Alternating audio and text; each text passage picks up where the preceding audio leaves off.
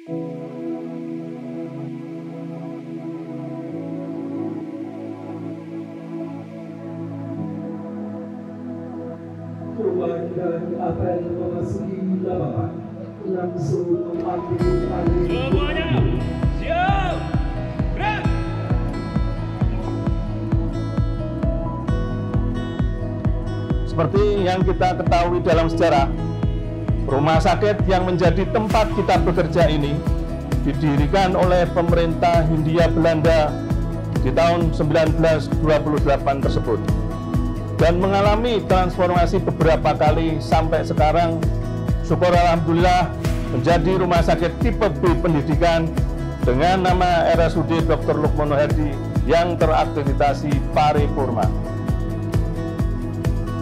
Sejarah mensiratkan bahwa di era kemerdekaan tahun 1946 rumah sakit ini dipimpin oleh beliau almarhum wa maufilillah Dr. Lukmono Hadi yang saat ini namanya digunakan menjadi nama Rumah Sakit Umum Daerah dan beliau dimakamkan di pemakaman umum Kerapia dan kita berharap nanti usaha kita adalah salah satu menginisiasi supaya Dr. Lukman Hadi menjadi pahlawan nasional.